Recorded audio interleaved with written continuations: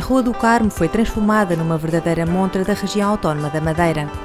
Diversas bancas davam a conhecer a gastronomia, o património paisagístico, natural e cultural do Jardim do Atlântico, a oferta hoteleira e turística e produtos madeirenses.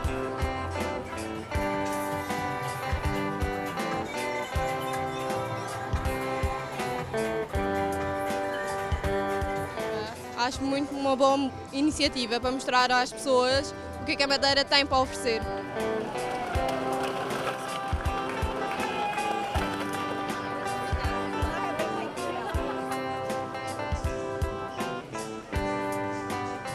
Muito bonito, muita animação, muita alegria.